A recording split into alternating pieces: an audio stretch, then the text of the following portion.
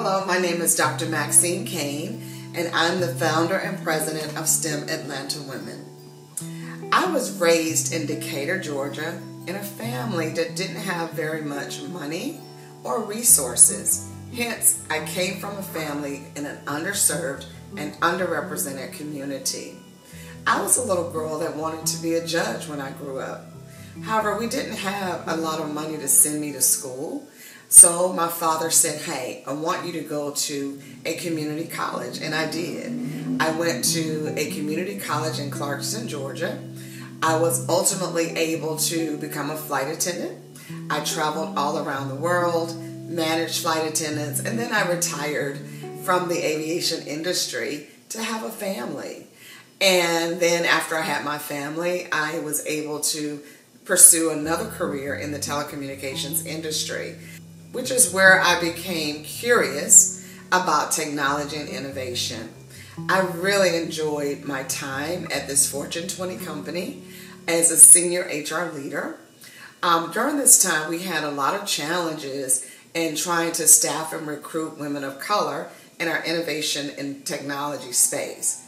And so after a 22 year career, I decided to make a difference and pour back into underserved and underrepresented young women and girls to help them to understand why it was important to pursue careers in science, technology, engineering, and math. I felt that technology was the number one industry in the world at that time, and it still is today. And so I want to encourage women to be curious, understand that we have a voice and we have a place in technology and innovation. And I want you to know that we are now in a place where technology is now shifting into artificial intelligence, which is taking a technological shift in the earth right now.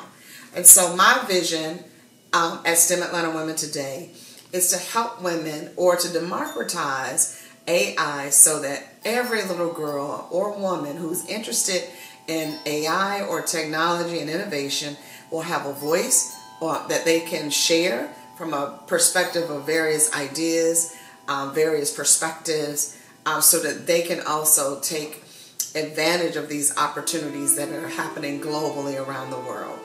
We are celebrating eight years of empowering women and girls at STEM Atlanta Women. I am extremely honored to be nominated as a Rotary Impact Award winner. So thank you for your time, and this is my story.